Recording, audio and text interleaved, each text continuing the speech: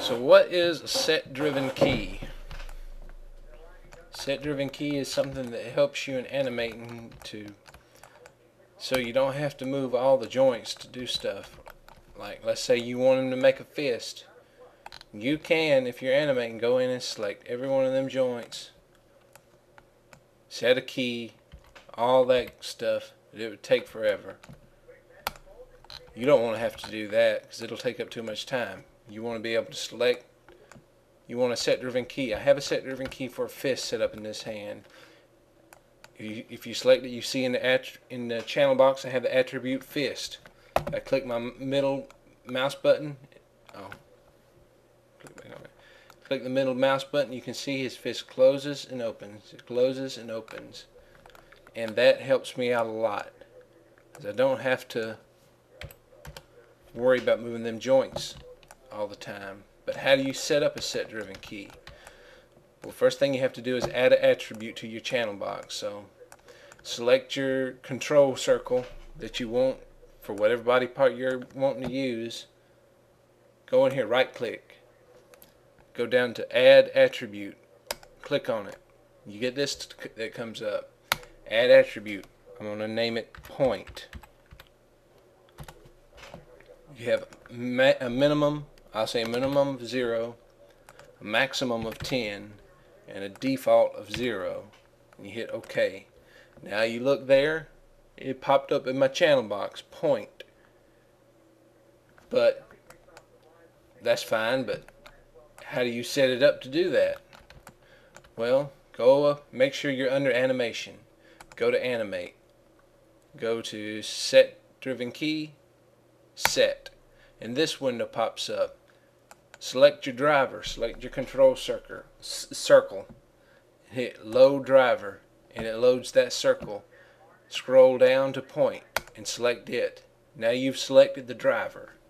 Now you got to tell Maya what joints you want the driver to drive. So easiest way I found to do this is let's just go to x-ray mode first. Oh, wait a minute.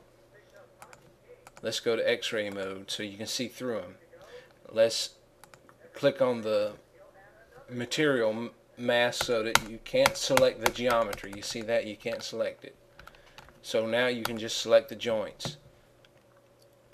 Select the first joint, shift select the rest of them that you need.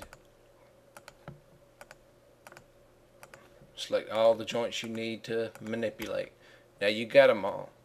Go here, click load driven and all those joints pop up. Select them all. And you can choose what you want to manipulate.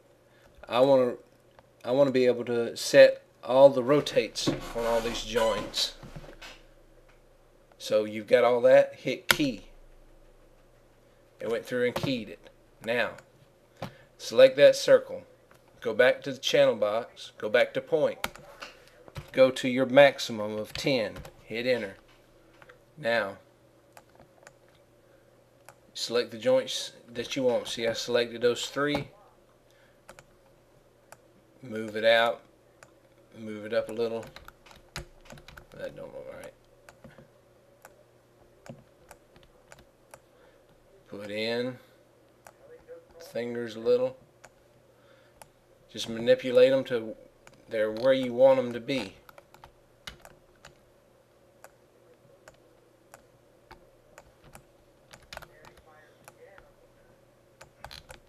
Let me get out of x-ray mode so it'll be easier.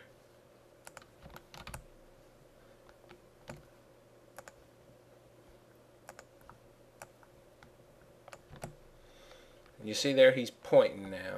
That one finger's kind of off kilter a little.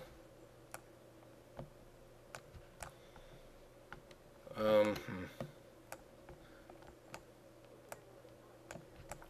Well, you can mess with it till you get it to where you think it's right. And um, that looks pretty decent to me. Make sure you have all the joints selected. Hit key again. And now you've got your set driven key. Select your circle. Now go to point. Middle click your mouse button. There you go. You got a set driven key set up that you can point. And this is something that you really really need to know when you're animating something. That's how to set a set driven key because you do not want to have to go in and manipulate every one of these joints. Every time you want them to point every time you want them to make a fist you don't want to have to do that. It simplifies things so much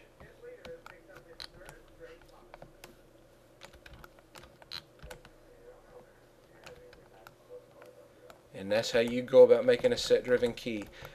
I had to watch the video I got a good many times before I figured it out. And yeah but it's something you really need to know.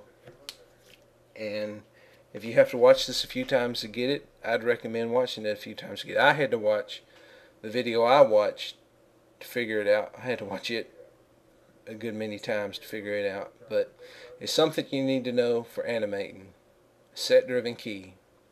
That's all I got to say. Um, y'all have a nice day